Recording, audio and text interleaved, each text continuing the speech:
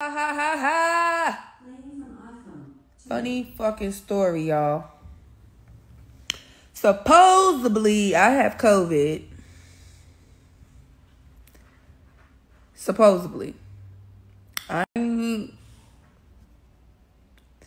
it's just real, real ironic how I'm the only player on my team who has chosen not to get vaccinated, and all of a sudden, right before season, I test positive.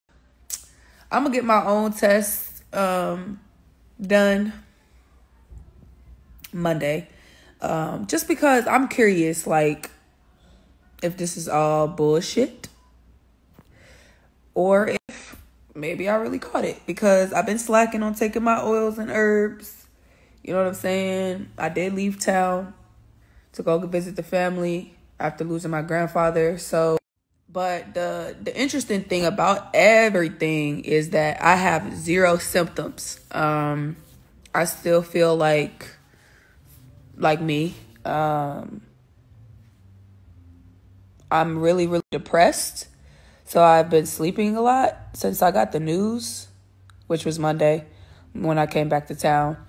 Um, and it's just been like, it's been a lot to accept. Like, now all of a sudden I'm out. Like, can't do shit. Can't go nowhere. Can't do shit. Like,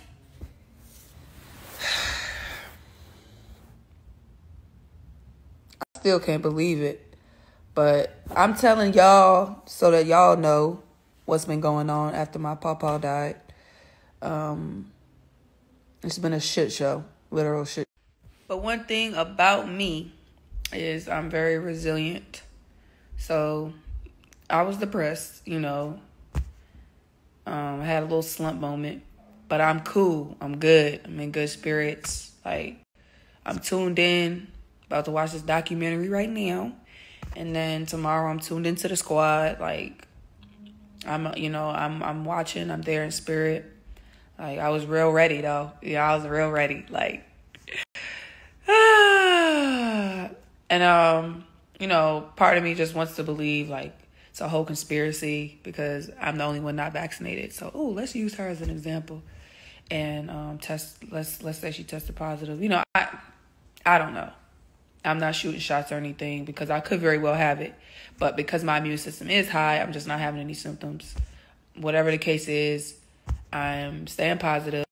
And also, if I have it, it's a wake up call for me for being slack on taking my oils because I was talking so highly of them and I haven't been taking them. Like, I've, I've honestly gone the past two months not taking my oils and stuff.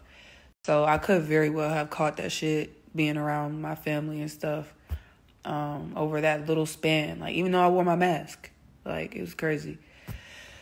But I just wanted, um, I guess, to let everyone know. I had a few people like, "What's going on? What's wrong?" And I was avoiding everybody because it just sucks. Like you get that news and you, you know, like it ain't nothing you could do. It's like, nah, you're positive. You're you're out. Ten to fourteen days, bitch. Ain't shit you could do. And I'm just sitting here like, I was ready, bruh. Ugh. It's all good though. My squad gonna hold it though. That being said, I will be back. Hmm. Cause you can't say I'm positive forever. And I'm gonna still take my own tests. I don't know. I'm I'm trying to decide where I'm gonna go take it at. But I'm gonna still take one just for my own, you know, just in case they try and play me. Cause I don't play that. You know, I don't play that.